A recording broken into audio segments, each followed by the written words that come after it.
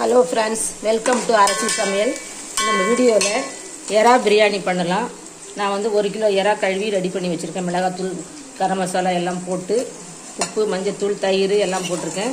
இப்போ வந்து நான் வந்து ஒரு கிலோ அரிசியில் இரநூறு கிராம் அரிசி எடுத்துக்கிட்டேன் மீதி நாலு டம்ளர் அரிசி இருக்குது கழுவி தண்ணி ஊற்றி வச்சுருக்கேன்.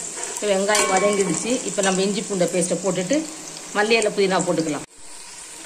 இப்போ நான் வந்து நானூறு வெங்காயம் போட்டிருக்கேன். கால் கிலோ தக்காளி இந்த மாதிரி பச்சை மிளகாய் ஒரு அஞ்சு போட்டிருக்கேன்.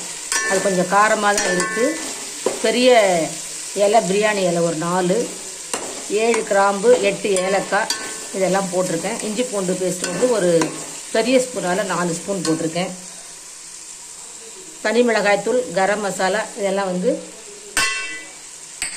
ஒரு ஸ்பூன் தனி மிளகாய் தூள் போட்டிருக்கேன். கரம் மசாலா ஒரு ஒரு ஸ்பூன். அதுக்கப்புறம் பிரியாணி மசாலா ஒரு ஒரு ஸ்பூன் அப்புறம் பார்த்துட்டு காரம் கம்மியாக இருந்தால் நம்ம போட்டுக்கலாம். இப்போ அடுத்தது இறாலி மிளகாத்தூள் எல்லாம் போட்டிருக்கேன். இது ஒரு ரெண்டு நிமிஷம் வதங்கின உடனே இப்போ நம்ம இறா போட்டு வதக்கிக்கலாம். இப்போ அரிசி எல்லாம் போட்டாச்சு. தண்ணி கொதிச்சிக்கிட்டு இருக்கு நல்லா. இப்போ நம்ம ஒரு ரெண்டு நிமிஷம் திறந்து வச்சுட்டு அதுக்கப்புறம் நம்ம மூடி வைப்போம்.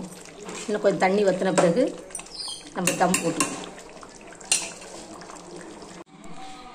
நம்மளோட எறா பிரியாணி ரெடி ஆயிடுச்சு. சாப்பிட வாங்க எல்லாரும். எல்லாருக்கும் ரொம்ப ரொம்ப நன்றி. வணக்கம்.